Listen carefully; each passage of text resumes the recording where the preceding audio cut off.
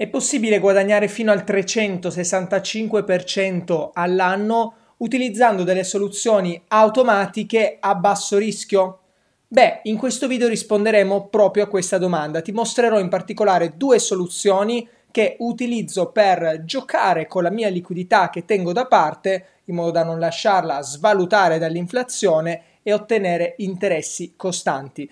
Una di queste soluzioni sarà più conservativa, una invece sarà molto più speculativa. Quindi resta con me fino alla fine di questo video perché ti mostro sia come funzionano e come puoi crearli tu in modo manuale, sia come automatizzarle tramite una piattaforma che vedremo tra pochissimo.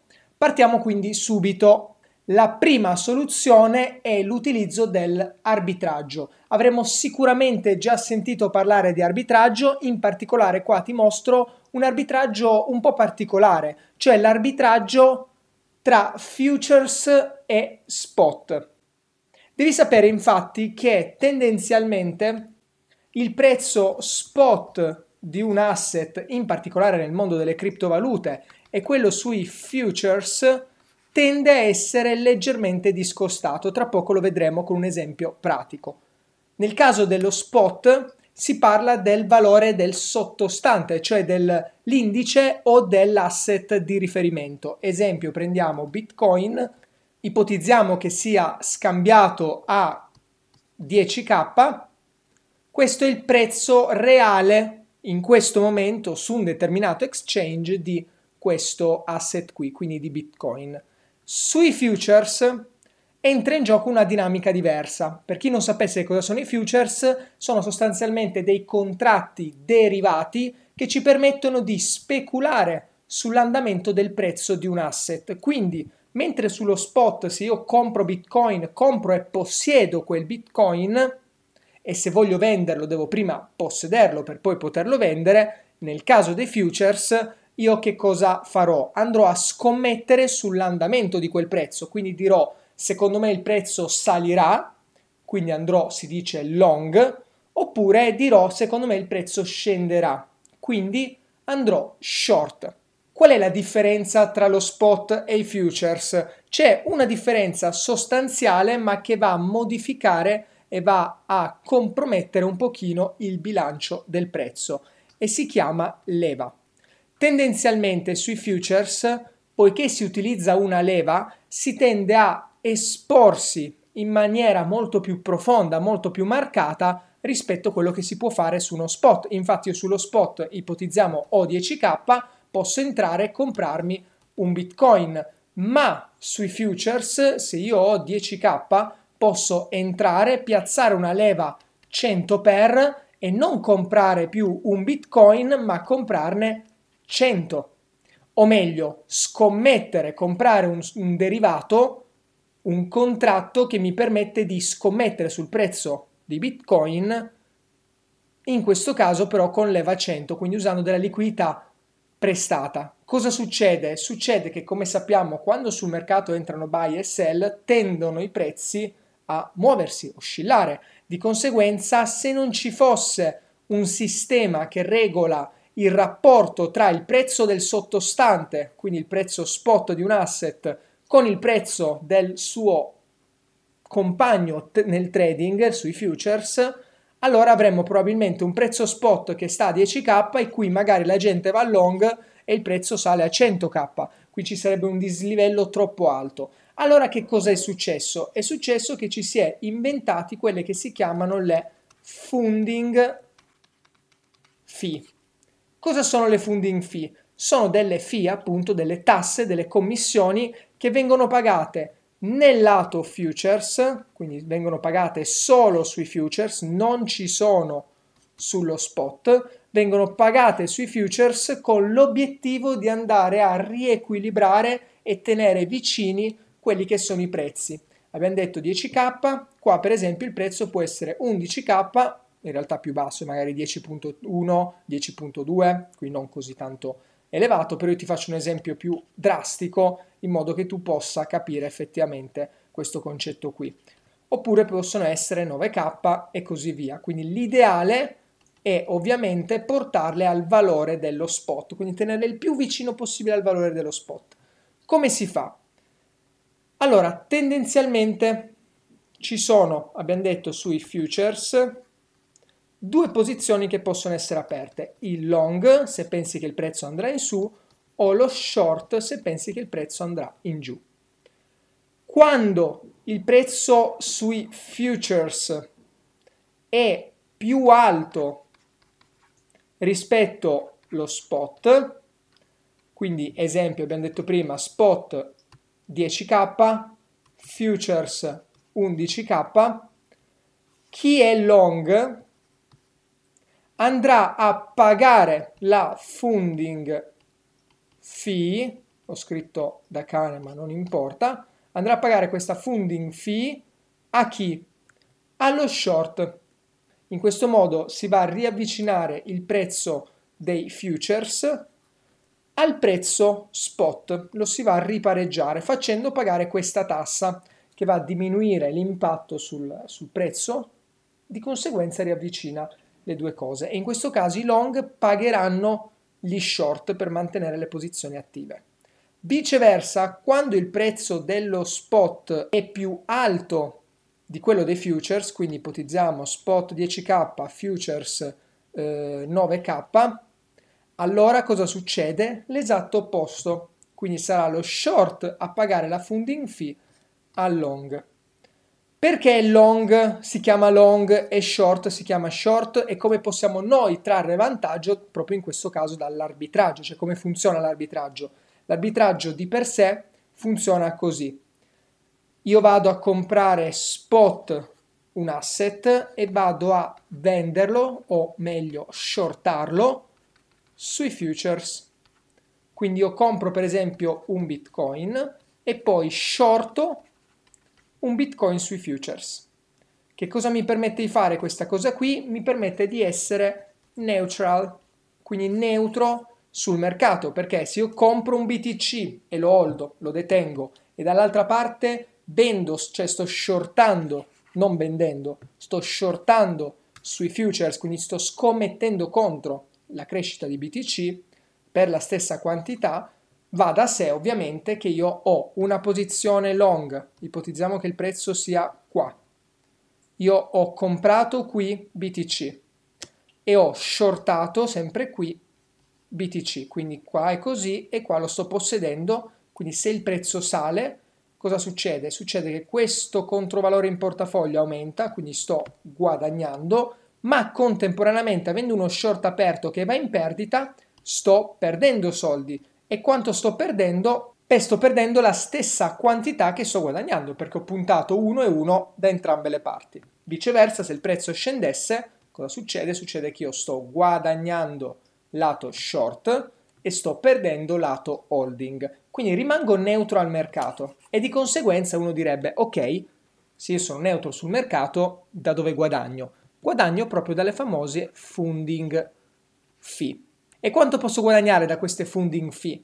Beh, dipende poi chiaramente dall'asset, da quanto è volatile, da quanto è scambiato e da quant'è il rate per quelle funding fee, perché le funding fee cambiano, possono essere più alte o più basse a seconda dell'asset su cui si sta operando. Una cosa importante da notare, perché si compra l'asset e si va short sul mercato? Ovviamente la risposta è estremamente banale perché io nel caso spot devo comprare un asset e detenerlo, non posso vendere un asset che non ho.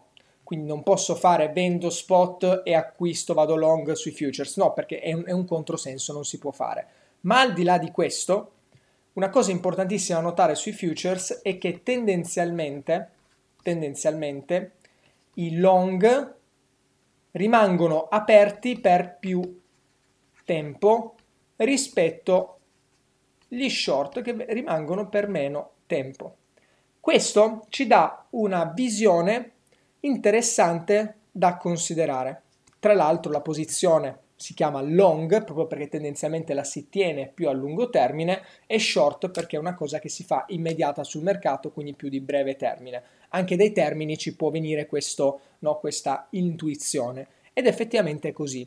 Poiché la maggior parte di persone tende a stare più tempo long sul mercato rispetto che short, allora tendenzialmente il prezzo futures Tendenzialmente non vuol dire che sarà sempre così, tenderà a essere leggermente più alto rispetto al prezzo dello spot che sarà leggermente più basso. E quindi tendenzialmente i long pagheranno gli short.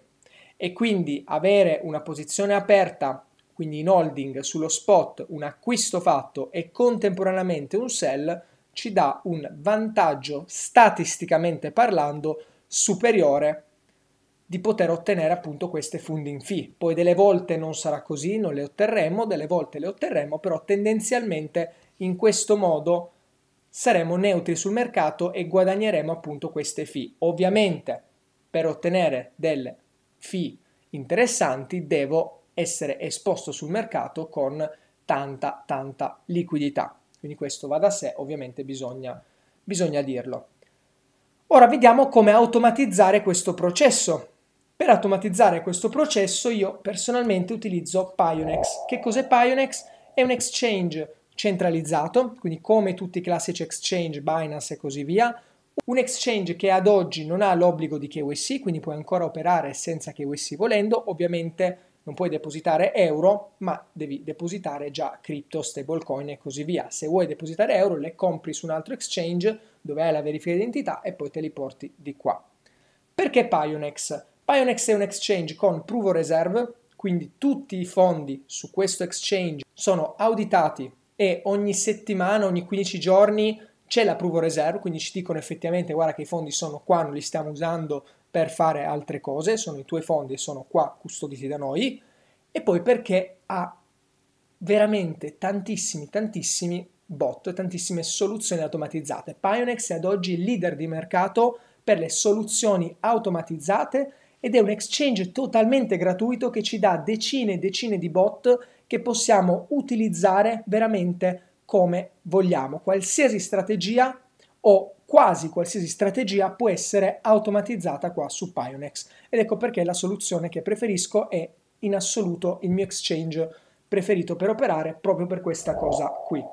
In particolare andiamo a vedere le soluzioni che ha sull'arbitraggio. Fino a qualche tempo fa l'arbitraggio c'era un bot specifico che ci faceva fare appunto arbitraggio scegliendo un asset su cui operare, si sono poi evoluti, quindi sì, volendolo puoi fare manualmente, quindi puoi comprare sullo spot Bitcoin, Ethereum, qualsiasi cosa e poi sui futures shortarlo, puoi assolutamente farlo manualmente, oppure utilizzare la soluzione che hanno loro qua negli earn che è quella che utilizzo io. Se andiamo negli earn, andiamo a cliccare arbitrage, eccolo qua, ci sono diverse soluzioni che implementano diverse coin. In questo momento, come puoi vedere qua, io ho 1400 dollari caricati qua, tra l'altro ti fa anche il compound, quindi quello che ti guadagna di interessi lo va a reinvestire, come vedi in questo caso gli interessi non sono elevatissime, quindi le funding fee non sono elevatissime, però tendenzialmente diciamo oscilliamo tra un 5-6% annualizzato fino anche a un 20-30% annualizzato. Statisticamente ci teniamo più o meno intorno a un 10%. Delle volte quando il mercato è più spinto, quindi ci sono più volumi, si tende ad avere delle commissioni, quindi delle funding fee più alte, come in questo caso, delle volte invece più basse. Personalmente ho scelto diverse soluzioni, come vedi qua loro ci offrono diverse soluzioni, quella che statisticamente funziona meglio è questa qui. Io ho scelto quindi una quota di liquidità, la maggior parte di liquidità l'ho messa in questa soluzione qua, che è automatizzata dentro cui vengono scelte le coin in automatico da loro. Qua ci fa vedere anche quanto sta pagando, esempio il 14, vedi abbiamo avuto delle funding fee medie 14, 15, 12%, il 15 adesso siamo a un 17, 15, 16, poi variano a seconda di come, di come va il mercato, delle volte sono più alte, delle volte sono più basse, ma tendenzialmente stiamo su quel range che ti, ho, che ti ho detto. Negli ultimi 30 giorni, come vedi, questo compound qua mi ha fatto 4 dollari, che non è male. Puoi in qualsiasi momento prelevare tutto, cioè toglierlo da questo bot qui, non hai da aspettare tempo, cioè non ci va nulla, fai semplicemente il prelievo e li riprendi, oppure puoi riprenderti i reward, i premi. Io li lascio in modo che facciano appunto il, il compound. Ti mostra poi tutte le transazioni, quelle che hai fatto tu, quindi quanto hai comprato e così via. In questo caso ti fa vedere anche qua gli asset su cui sta operando. Principalmente vediamo Bitcoin una proporzione del 78,44% e queste sono le funding fee attuali su Bitcoin, uno 0,01%, poi c'è Ondo e vedi che via via ci sono delle fee più alte, esempio questo ha probabilmente dei volumi un po' particolari perché è una, una coin relativamente nuova, magari speculativa, io non la conosco personalmente, qui abbiamo uno 0,14% di funding fee.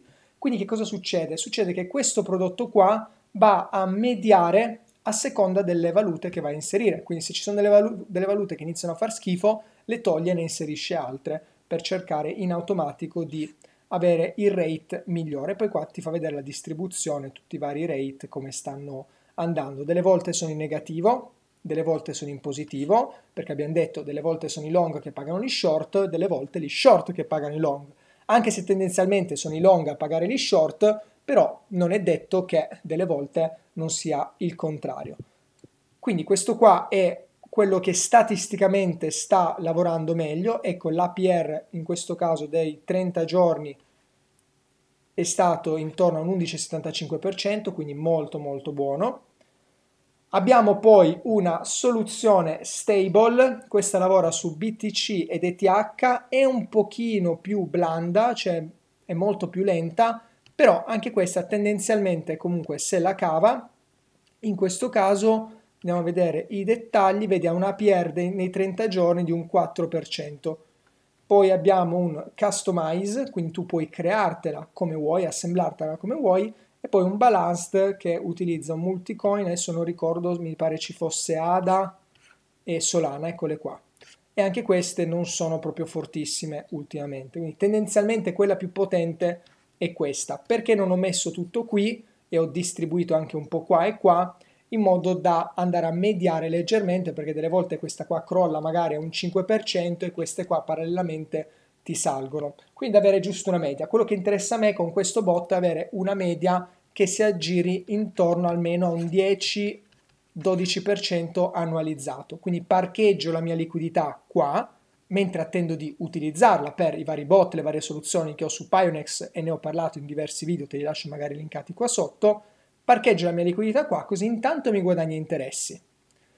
E poi la uso quando mi serve, basta sbloccarla e non ci va niente perché faccio preleva, me la preleva e poi la posso usare in tutti i modi che voglio. Quindi un modo per tenere la liquidità qui, ottenere interessi mentre parcheggiate in attesa di riposizionarmi sul mercato.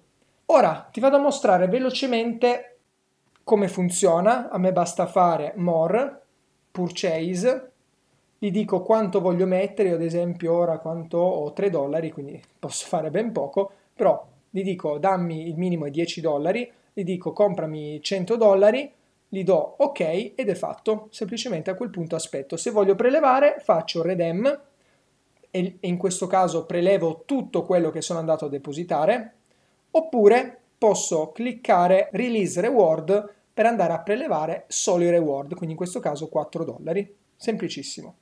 Ora ti vado a mostrare sullo spot la differenza di prezzo, così che tu possa avere un'idea, prendiamo per esempio Bitcoin, penso sia un pochino più evidente, prendiamo Bitcoin, andiamo a duplicare la pagina, così ti mostro in tempo reale lo spot su Bitcoin e i futures su Bitcoin, così che si vede effettivamente questo, questa discrepanza. Allora, futures, Bitcoin, eccolo qua. Allora, attualmente sullo spot andiamo a vedere Bitcoin è scambiato a 65.763, sui futures 751. Come puoi vedere abbiamo da un lato 762 adesso, 733. Quindi in questo caso un pochino più basso lato, ecco qua, lato futures rispetto invece lo, lo spot. E voilà, molto molto semplice, come vedi c'è della discrepanza, non è mai identico. E questa era la prima soluzione. La soluzione più conservativa, la soluzione sostanzialmente risk free, a zero rischio, se non, andiamolo a sottolineare, il rischio di controparte, cioè io sto utilizzando Pionex, se Pionex fallisce io ho i soldi sopra e succede magari come FTX, devo stare lì a aspettare, tutta una serie di, di fattori. Questo è il caso estremo in cui l'exchange non funzioni, È un exchange comunque molto serio, fino ad oggi non ha mai avuto alcun tipo di problemi, che non vuol dire che non possa poi averli. Ragazzi, come sempre bisogna dirlo, bisogna sempre fare attenzione quando utilizziamo degli exchange e possibilmente usiamo exchange seri, però se usi Binance o usi KuCoin o usi Pionex cambia poco, cioè ti stai sempre comunque esponendo allo stesso tipo di rischio. Però era giusto, importante sottolinearlo perché sì, di base l'arbitrage non ha chissà quale rischio sul lungo termine, cioè sono molto molto assottigliati perché sei neutrale sul mercato e vai a prendere solo funding fee, però c'è il rischio della piattaforma che utilizzi, così come c'è se li vai a depositare su una delle piattaforme che ti generano interessi. Stesso principio. Ora passiamo a una soluzione un pochino più complessa, spero di stare in 10 minuti nel video per spiegartela, se non importa andiamo più lunghi, però ci tengo che sia ben chiara, è una soluzione un po' più aggressiva, ma che può portare a degli interessi di tanto maggiori, cioè parliamo magari di uno 0,5, 1%, a volte anche 2% giornaliero, dipende poi da come vengono settati, con quale grado appunto di rischio, con quale tolleranza a rischio. Di che cosa stiamo parlando? Stiamo parlando dei bot opzionari. Non voglio parlarti di opzioni in questo video perché sennò diventerebbe un video di due ore, però ti vado a mostrare le soluzioni che ci sono qua su Pionex, quale tipo di funzionalità ci danno e come possiamo utilizzarla a nostro favore. Allora, sempre nel Learn, io, posso andare qui in Strutturati, clicco. Che cosa abbiamo? Abbiamo i Dual Investment. Clicchiamoli. Ok, clicchiamo in Earning Robot ed ecco qua i vari tipi di investimenti. Personalmente utilizzo la Flying Wheel. La Flying Wheel è un mix automatizzato che nasce da questa roba qua, che adesso ti mostro nel dettaglio cosa vuol dire. È un po' come fossero opzioni call e opzioni put, se dovessimo parlare appunto in termini opzionali, però non te ne parlo qui, magari in un video dedicato, anzi scrivi qua sotto se ti può interessare, ne parleremo, però tendenzialmente ti mostro come si chiamano qua e perché uso questa. Questa qui è una cosa nuova che è uscita che mi permette di automatizzare. Una volta utilizzavo uno e due in combinazione, adesso invece utilizzo solo questa qui perché incorpora queste due. Allora, by the dip come funziona? Semplicissimo, io posso, qua dice, comprare cripto al mio target price mentre guadagno passive income, quindi entrate passive. Viceversa il covered gain è la, il guadagno coperto, cioè vendo cripto ad un punto preciso mentre in guadagno passive income. Con il flying wheel noi andiamo ad unire queste due cose. Una volta, quando non c'era il flying wheel, che cosa facevo? Io compravo il buy the dip e compravo il covered gain contemporaneamente, cioè facevo una strategia delta neutral, la chiamo, quindi neutrale sul mercato. Cioè, allora, iniziamo con il buy the dip. Che cosa mi permette di fare il buy the dip? Mi permette di scegliere un prezzo a cui comprare un asset. Esempio, adesso Bitcoin è scambiato, abbiamo visto, a 66k, io credo che Bitcoin possa scendere di nuovo a 50k? Perfetto, allora avvio un buy the dip a 50k. Le soluzioni sono due in questo caso, no? Se io credo che Bitcoin possa scendere a 50k, posso acquistare, semplicemente piazzare un ordine limite a 50k e aspettare. In quel caso la liquidità congelata che non guadagna non guadagna interessi. D'altra parte, anziché usare un ordine al limite, io posso usare un buy the dip, dove vado a piazzare l'ordine a 50k, comprerò a 50k quando il prezzo, quando e se il prezzo raggiungerà quel livello, ma nel frattempo la mia liquidità che sto mettendo in pausa per poter acquistare sodando a questo contratto, che cosa fa? Mi guadagna degli interessi. Quindi esempio, io sto mettendo, facciamo finta 50k, quindi voglio comprare un bitcoin, ipotizziamo appunto un bitcoin a 50k, metto 50k di liquidità, questa liquidità mi sta prendendo degli interessi in attesa di arrivare poi a evadere l'ordine, quindi al buy the dip, quindi comprarmi quel dip, comprarmi quel calo arriva a 50k, mi compra Bitcoin, quindi io che cosa avrò in portafoglio? Avrò un Bitcoin comprato con i miei 50k e dall'altra parte dei dollari, dei USDT o USDC, quello che è, che ho generato mentre attendevo di raggiungere questo livello qua. D'altra parte, io posso anche non raggiungere questi 50k, quindi rimanere sopra i 50k e andare a continuare ad accumulare degli interessi semplicemente. Quindi dipende poi dagli scenari, da che cosa mi aspetto. Andiamo al contrario. Io ho delle cripto in portafoglio e quindi ora voglio fare il sell.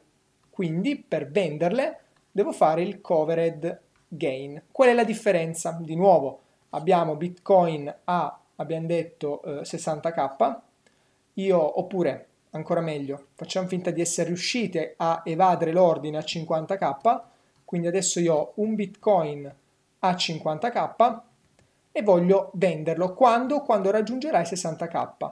Di nuovo o piazzo un ordine al limite dicendogli vammi a vendere a 60k e in questo caso il Bitcoin rimane fermo, sta lì e man mano che si muove oscilla, il prezzo un po' sale, un po' scende, ma finché non raggiunge i 60k mi tengo in holding quel Bitcoin lì. Oppure faccio lo stesso principio di prima ma al contrario, faccio il covered gain, cioè io vado a dargli il target di vendita, quindi dico questo è il mio target,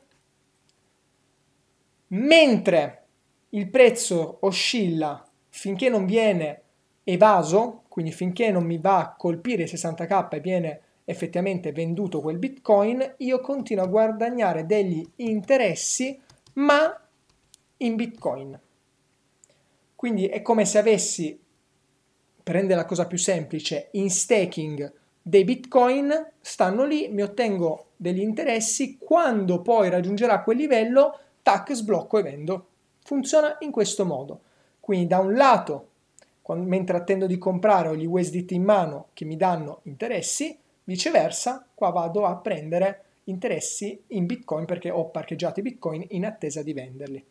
A questo punto io posso abbinare queste cose come dando un prezzo di acquisto e un prezzo di vendita uguale.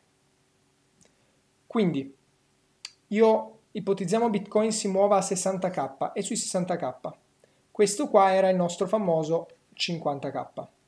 Quando il prezzo scenderà, vado a toglierti queste due scrittine, ecco qua, tu sai che questo qui è il mio range dei 50k, sai che io su questo range acquisto e contemporaneamente vendo. Quando il prezzo di Bitcoin oscilla sopra, che cosa ho attivo? Ho attivo il buy the dip, quindi acquisto tramite il buy the dip. Di conseguenza, sui miei dollari che sono andato a mettere, ipotizziamo di aver messo 50.000 dollari, sui miei dollari che sono andato a mettere vado a guadagnare interessi in dollari, appunto perché sta avendo luogo quello che è il buy the dip.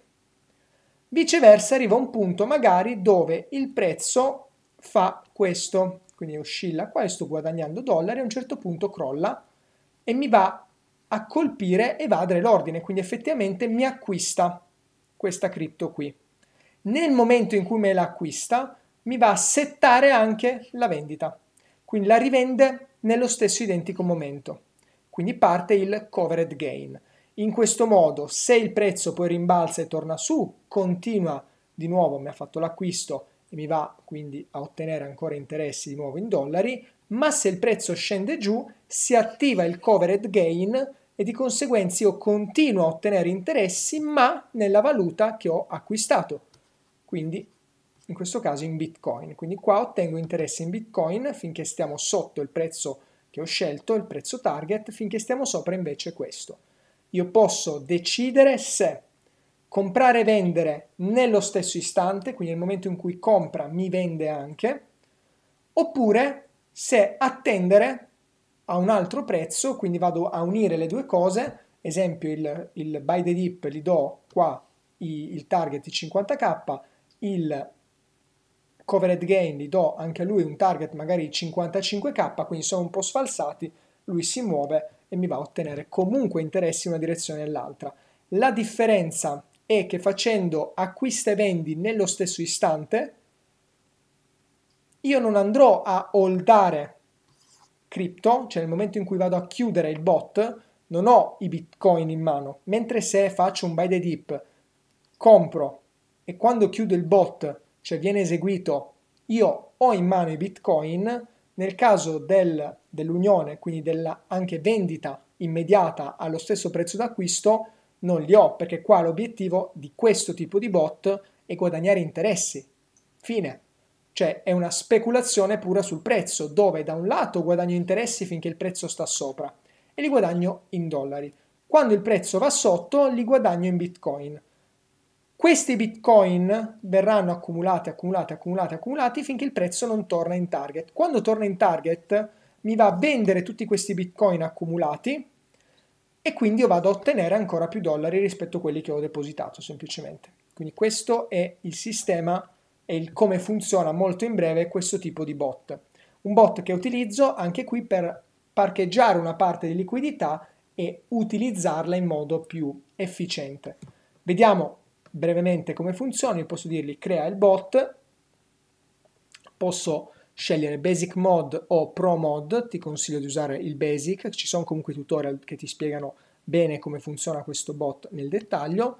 Scegliamo per esempio Bitcoin, gli diamo un prezzo, quindi dico a quanto voglio comprare Bitcoin, vedi please enter the target buy price, quindi il prezzo target d'acquisto, qua attualmente a 65,6 più scelgo un prezzo d'acquisto basso, minore sarà chiaramente il premio che mi viene dato, perché le opzioni funzionano così. Cioè se io qua ci metto 10k, penso che neanche ci sia, gli dico search, infatti non c'è, diamogli 40k, vediamo se c'è. Ecco qua, vedi l'APY è relativamente basso e poi il settlement sono 10 giorni, 24 giorni e così via. Sono tutti APY relativamente bassi il più alto no, sono proprio tutti bassi. Se io qua invece vado a dargli un prezzo più vicino a quello attuale, esempio 64k, gli APY diventano molto più alti. Vedi qua abbiamo un 36%, 51%, 53% e così via. Più andiamo vicini con il target price al prezzo attuale, più è facile che gli interessi siano alti. Poi il settlement period possiamo decidere se farlo giornaliero, ogni due giorni, ogni tre giorni, quindi cosa succede? Che ogni giorno se hai raggiunto i 64k lui ti va a chiaramente pagare gli interessi, in questo caso un 36 annualizzato, fai 36 diviso, eh, diviso 365, hai quell'interesse giornaliero e se il prezzo poi scende prendi in bitcoin, se il prezzo sale poi ti prende in USDT. Più ci avviciniamo quindi al prezzo attuale, maggiore è il, il livello di interesse che generiamo. Vedi, siamo a 65.600, se io comprassi questo a 65.500, l'interesse annualizzato è del 195%, con un settlement period di un giorno in questo caso, quindi un bot molto più spinto. Proviamo a dirgli buy, voglio comprare questo, mi dice qua il ritorno, io qua devo mettere per forza minimo 10 euro, però è per farti vedere cosa succede, mi dice se Bitcoin al momento del settlement, quindi ogni giorno, è inferiore ai 65.500 guadagni questi Bitcoin qua, se superiore guadagni questa cifra qua, quindi sono 5 centesimi sui 10 dollari che hai messo. Se io qua ce ne metto 100 diventano 50 centesimi, se ne metto 1000 sono 5 dollari al giorno, e dall'altra parte 0.015 bitcoin in questo caso.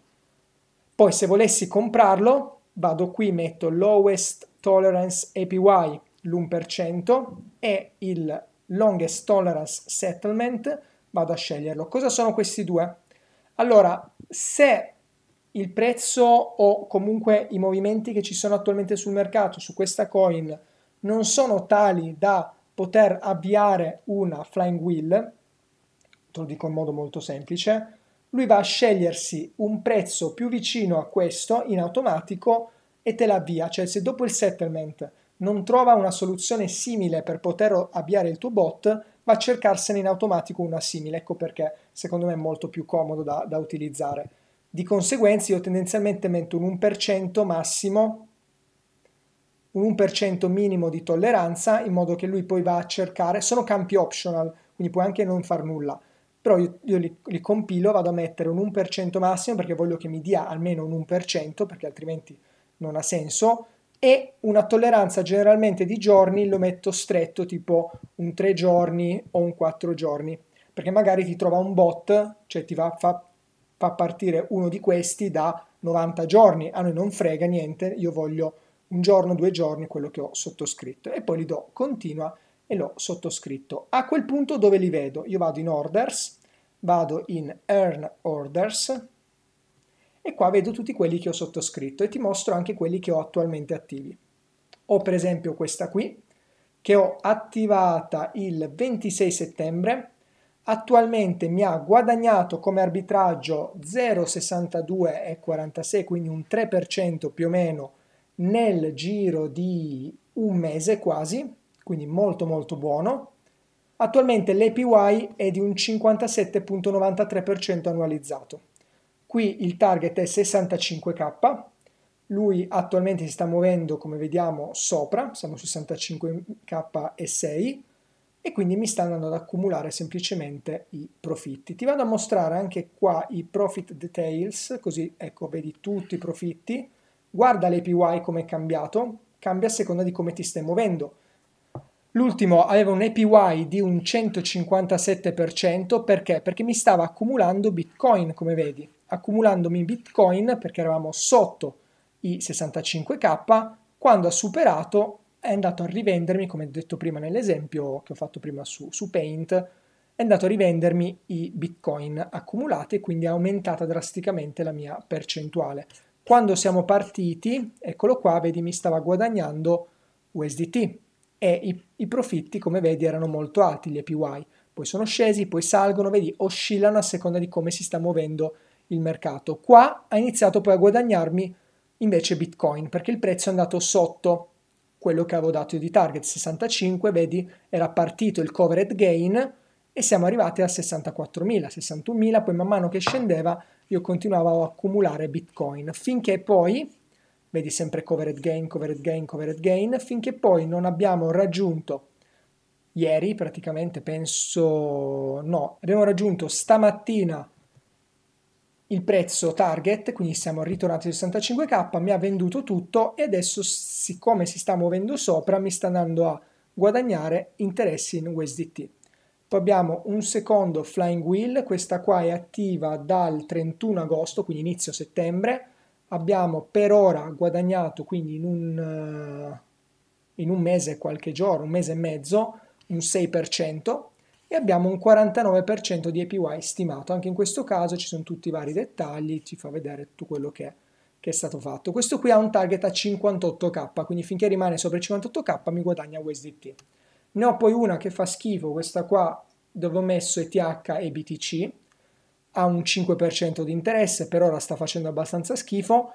Perché? Perché ETH non sta sparando. Questo qui in alt season mi farà un botto di profitti, però se l'alt season non arriva, questo bot fa cagare, ma infatti ci ho messo veramente pochissimo. L'obiettivo di questo bot è guadagnare Bitcoin, cioè io ho investito BTC, la stessa dinamica che ti ho detto prima con il covered gain e il buy the dip, però, quindi nel classico flying wheel, però nel cambio Bitcoin ETH. In questo caso, se il prezzo sta sopra il range che ci siamo dati, mi guadagna i Bitcoin, viceversa, se sta sotto mi guadagna gli ETH. Quando raggiunge, ritorna su questo livello qui, mi vende gli ETH e mi accumula Bitcoin. Quindi questo è un bot identico ma che mi va a accumulare Bitcoin come gli altri. Qui abbiamo poi un'altra Flying Wheel avviata, avviata, avviata il 22.8, quindi fine agosto. Questo mi ha generato ad oggi un 9%, è attualmente un target di nuovo a 65k anche lui, Arbitrage APY un 61.22%. Questa qui invece è attiva dal 24 di luglio, fino adesso mi ha fatto un netto 2,87%, di guadagnato un 4,96%, però ho gli holding, perché qua il target di Bitcoin era 67k, quindi finché sia sotto i 67k questo ho un holding in negativo, perché sto possedendo dei Bitcoin che non sono ancora riuscito a vendere. Quando poi salirà sopra, quindi raggiungerà i 67k, li venderà e quindi il profitto netto diventerà il, del 5% in questo caso. Annualizzato un 21%. Come vedi ne avvio anche di più in modo da mediare e avere degli interessi maggiori. Questa qui invece è avviata dal, pri, dal 4 luglio, attualmente il target era 54k a ribasso, quindi mi ha praticamente quasi sempre solo preso interessi e siamo a un 4,81%, uno stimato di un 16,64% annualizzato.